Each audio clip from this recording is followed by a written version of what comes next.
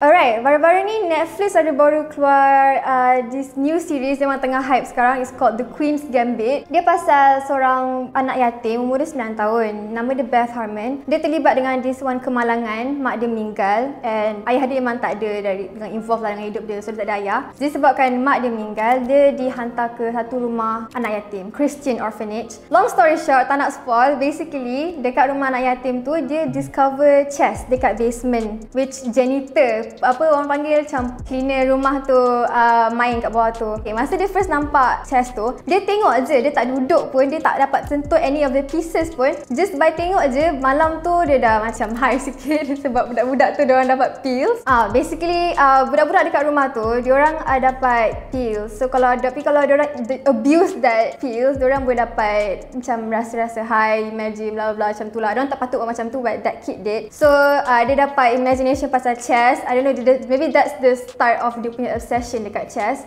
So, just by looking that first time, dia dapat dah faham macam mana movement rules chess, macam mana rook nak gerak, macam mana knight nak gerak. And since dia tunjuk banyak sangat interest, cleaner tu notice interest dia dekat chess. Uh, cleaner tu pun ajak lah dia main sekali and dia sangat taken aback lah with her gift kan. Cerita tu follows her journey macam mana dia self-made diri dia to be the world's greatest chess player. Banyak yang nak gila suka pada pasal cerita ni sebab okay first sebab dia self-made, dia discover talent dia and dia sendiri yang pergi kedai curi barang ke apa, dia sendiri yang uh, effort, dia yang cari tournament and dia yang pujuk mak dia. She works her way up basically. And second, um, I like how dalam cerita ni, dia bukan nak tunjuk yang perempuan boleh kalah lelaki sebab okay, chess is a male dominated game. So bila perempuan main dekat domi- male dominated dominated game mostly orang akan pandang kat gender dia instead of her skill. So that's what she pointed out juga. Dia macam baffled kenapa orang nak point out dia perempuan instead of her skill? Sebab dia punya mission dia bukan nak kalahkan lelaki. She just wants to be the best chess player in the world. Dia nak kalahkan semua grandmaster. I hope benda ni macam boleh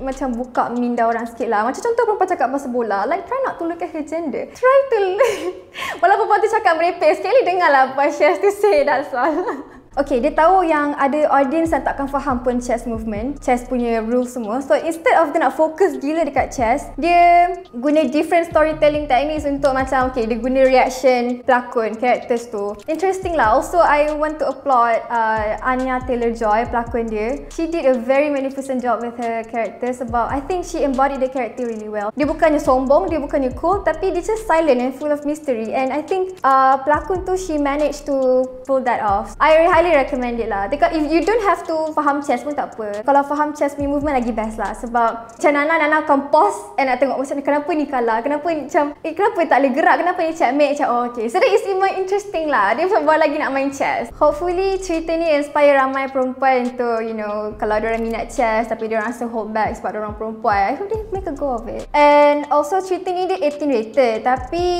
mostly sebabkan profanity. Dia orang ada guna bahasa kasar sikit. And then ada tunjuk substances dadah ada pil-pil semua tu. And there's also like slightly slightly macam graphic apa kalau graphic content macam sexual stuff. Tapi itu pun tak tunjuk. I like that's what I like. Dia tak tunjuk sangat detail pun all the sexual stuff. Macam that there's more to her than her romance and her love interest and the men in her life. Selain daripada dia highlight dia punya journey dengan chess it also highlights dia punya struggle with drug addiction and alcoholism. Uh, you should watch until the end. You should see how she managed herself off. And Nana bagi basically rating 4.85 and lastly please don't do drugs